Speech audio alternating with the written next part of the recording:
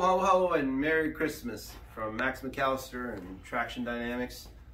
I've uh, received lots of emails. Everybody's worried about me. I've died or something, but because I've been off of uh, YouTube for several months now.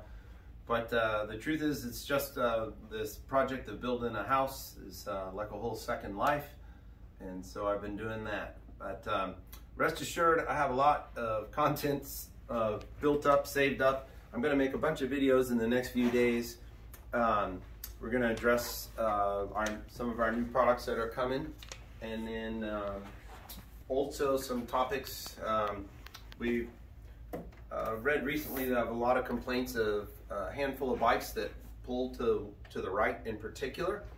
If you happen to have a Honda Goldwing that pulls to the right, please comment below in my on the channel here.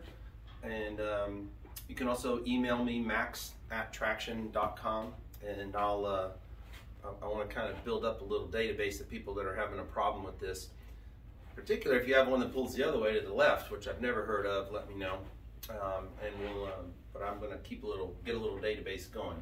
But so we do have new products coming: the tip over protection, a new electronically styled glove box lock. Um, we've got a product in the works to help correct uh, bikes that are pulling to the right and uh, several others. So the tip over protection I know is the one everybody's interested in the most. Um, it's very complex. It's taken time to do. Um, it'll still be several months, but when we have it, it's going to be awesome. So uh, anyway, I want to let you know I'm live, uh, and I'm and I'm still out here working on Goldwing products, and, uh, you know, just like I always was. I just haven't been on YouTube, but I will be coming very, soon. I'm, you'll probably send a whole wave of stuff out. You'll probably be annoyed at how many videos I do in a row all of a sudden. So thank you very much. Merry Christmas, Happy Holidays. Please hang in there on my channel and I will uh, keep the great content coming.